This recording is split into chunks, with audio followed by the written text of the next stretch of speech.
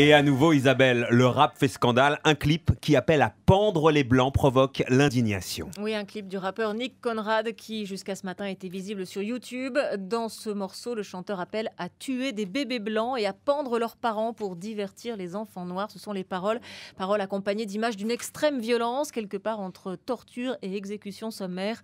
Condamnation unanime au gouvernement et le parquet de Paris ouvre une enquête pour provocation au crime. Morad Jabari, vous vous êtes rendu pour RTL dans le quartier de ce rappeur à Noisy-le-Grand. Oui, et le rappeur est depuis ce matin étonné des réactions provoquées par son clip. D'après Nick Conrad, c'est une incompréhension. Son court métrage est un projet artistique et selon le rappeur, ce n'est pas du tout une incitation à la haine, même s'il reconnaît que les images et les paroles violentes de sa chanson peuvent choquer. En disant pendant les blancs, effectivement, on est dans la provocation, c'est vrai. Mais euh, j'ai réalisé un court métrage qui reste une fiction. Je veux dire, il, arrive un moment où, pour moi, les choses sont simples et claires. Euh, je pense qu'un